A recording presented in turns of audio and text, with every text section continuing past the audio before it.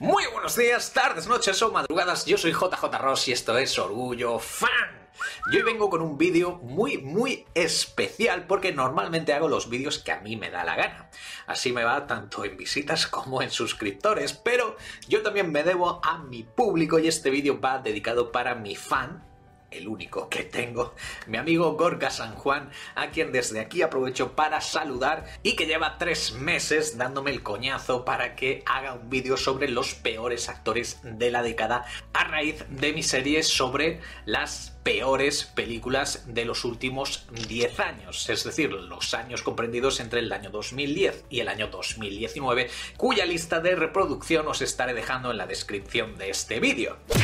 Así que sin más dilación vamos con este top 10 de actores que objetivamente no han sabido escoger bien sus proyectos en la última década. Y comenzamos en 3, 2, 1, ¡let's go! En el puesto número 10, en lo menos malo de lo más malo, está Sylvester Stallone.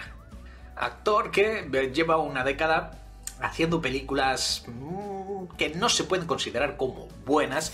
De hecho, el año pasado, el 2019, tuvimos la que posiblemente sea la peor película de Rambo, más aparte pues, la trilogía de películas de Escape Plan, que tampoco son como para tirar cohetes, pero yo sabéis que soy un ferviente defensor de Stallone, porque el tío tiene talento, en lo suyo, pero tiene talento.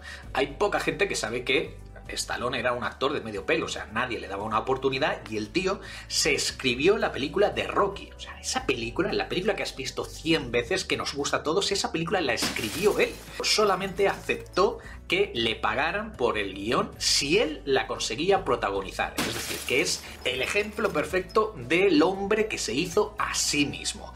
Tanto es así que el tío ya con 70 años entendió antes que nadie lo del fan-made. El tío pensó, vamos a ver, ¿a quién no le gustaría ver una película, todos los actores de acción del cine de los años 80? Una película que al final se convirtió en una franquicia, la de los mercenarios que él mismo concibió, escribió, produjo, dirigió y protagonizó. Después de eso, el tío dijo, vamos a ver, vamos a ver. ¿A quién no le gustaría ver una película, un combate entre Rocky Balboa y Jake LaMotta, el protagonista de Toro Salvaje? hacemos la película. ¿A quién no le gustaría ver una película que sea un encuentro, un crossover entre yo, Stallone y Arnold Schwarzenegger? La hacemos. ¿A quién no le gustaría ver una película sobre el hijo de Apollo Creed? La hacemos. No solamente la hacemos, sino que además me ganó un Globo de Oro y una nueva nominación al Oscar. Stallone chapo. En el puesto número 9 tenemos al protagonista de, sin duda, la peor trilogía de la historia. Bueno, por lo menos de la última década. Jamie Dornan, que era el Grey de la saga de películas de 50 sombras de Grey. Además, Dornan también estuvo en Robin Hood, película que aspiraba a ser una franquicia y que fue un pequeño fracaso. Pero Dornan se encuentra tan abajo en esta lista porque gracias a Netflix también le hemos podido ver en The Fall, una serie por la que recibió una nominación al BAFTA, al mejor actor de televisión, y la película junto a Peter Dinklage, My Dinner with Hervé, que también estaba bastante bien. No le pasa lo mismo en el puesto número 8 a un actor al que le tengo mucho cariño, sobre todo por haber protagonizado Gris, pero claro, de eso hace ya una vida. John Travolta, que en los últimos 10 años ha hecho bastantes películas, ninguna de las cuales es una maravilla, pero, ojo, al menos solamente hace una al año y también hay que decir que el tío se esfuerza. Normalmente suele ser lo mejor de cada una de estas películas. Así que ya solo por eso, por haber sido el protagonista de Gris y por haber protagonizado también Pulp Fiction, vamos, ya solo por eso a Travolta se le debe todo.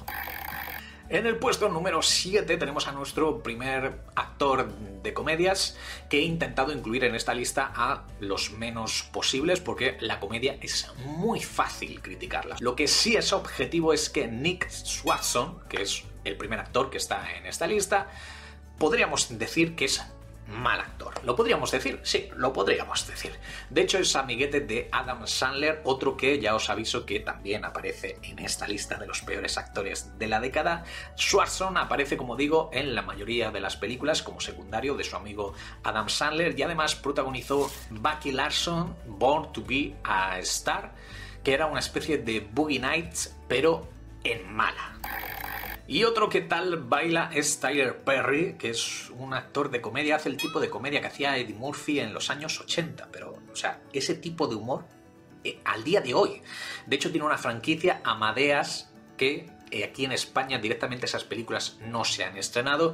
Tiene otras también bastante malas como Tentación, Confesiones de un consejero matrimonial o incluso su intento por pasarse al thriller con el reinicio de Alex Cross, que es un personaje literario de un detective, película que tampoco funcionó. Aunque en su defensa, al igual que hay que decir de Stallone, que él se lo guisa, él se lo come, es decir, la mayoría de las películas las escribe él e incluso las dirige él, y de vez en cuando aparece como secundario en alguna película notable como El vicio del poder, que fue una película que estuvo nominada al Oscar. Llegamos al Ecuador a mitad de tabla y lo hacemos con Aston Catcher. ¿Quién? ¿Quién, es ese tío? ¿Quién es Aston Catcher? Bueno, no os lo vais a creer, pero hubo un momento a principios de la década donde Aston Catcher parecía que iba a ser, bueno, la nueva estrella del milenio. Lo malo es que el pobre no tenía talento. Lo intentaron reciclar para el típico actor de películas de comedias románticas o incluso de comedias románticas de acción como Killers o No Strange Attach y lo más penoso para mí de su filmografía es que hizo una película aprovechándose de la muerte de Steve Jobs, del creador de Apple, cuyo título era Jobs, y que se hizo única y básicamente porque se decía que tenía cierto parecido a Steve Jobs cuando era joven. Vamos, penoso de verdad. Al final Aston Catcher volvió al que es su mejor terreno, la televisión, y consiguió que Netflix le produjera cuatro temporadas de The Ranch, que es una serie que para pasar el rato no está mal. En el puesto número 4 nos encontramos con Johnny Depp, que es uno para mí de los casos más sorprendentes que hemos tenido en la historia del cine. Johnny Depp siempre había sido un actor de cine independiente, se le conocía por eso y por ser el actor fetiche de Tim Burton, hasta que estrenó la primera entrega de Piratas del Caribe, donde, vamos, se convirtió en la mayor estrella que había en ese momento. Sin embargo, no hay un lugar donde esa luz de las estrellas se apague más pronto, irónicamente, que en Hollywood. Así que en los últimos 10 años hemos visto grandes, grandes fracasos de películas de Johnny Depp con gran presupuesto como The Lone Ranger, El Llanero Solitario, o Transcendent, o Mordecai, o sobre todo la secuela de Alicia en el País de las Maravillas, Alicia a través del espejo, que es así que era infumable, y aparte de eso, también ha tenido tanto su peor colaboración con Tim Burton en Dark Shadow, Sombras Tenebrosas, como las dos peores películas de la franquicia de Piratas del Caribe, vamos, la cuarta y la quinta entrega, que adolecían del encanto que sí que tenía la trilogía original, tanto es así que Walt Disney se está replanteando el reinicio de esta franquicia, aunque creo que Johnny Depp todavía tiene un bagaje como actor secundario de lujo en propuestas como la de Asesinato en el Orient Express o como villano en la saga de películas de animales fantásticos y dónde encontrarlos, la continuación de Harry Potter de J.K. Rowling. Y la medalla de bronce de esta lista, bueno, si antes hablábamos de la peor trilogía de la historia con 50 sombras de Grey, pues también en la última década hemos tenido la peor saga de películas, que es la de The Twilight Saga, la de Crepúsculo. Si bien de sus tres principales protagonistas, creo que tanto Robert Pattinson como Kristen Stewart han sabido salir más o menos del paso con cierta dignidad. El único que no lo ha hecho ha sido Taylor Lautner, que después de esas películas intentó reorientar su carrera como héroe de acción con películas lamentables como Abduction o Tracers. Y creo que su futuro va a ir en esa línea. Yo creo que al final acabará como galán cutre de telenovelas.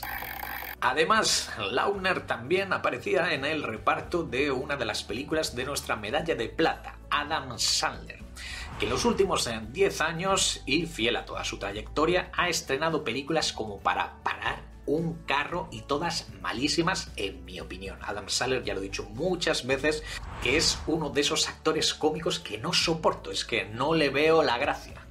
Sin embargo, está en el puesto número 2 y no en el puesto número 1 porque gracias a su acuerdo de larga vinculación con Netflix, también le ha dado tiempo a intentar un poco lavar su imagen con propuestas tan interesantes como The Meyerowitz Stories o Uncut Gems, que es de lo mejorcito que hemos visto en el año pasado.